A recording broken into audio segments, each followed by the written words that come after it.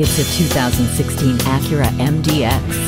This is a luxury crossover that is ready to pamper both driver and passengers. Every inch of the luxurious cabin exhibits a meticulous amount of design detail. Even the second row sits higher than the front, creating a theater-style seating arrangement.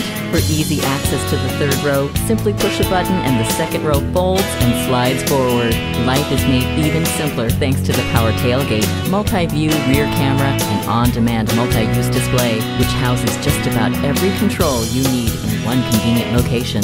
Let the sun shine and fresh air in with the sunroof. This elegant MDX is ready for you and your family. See it today.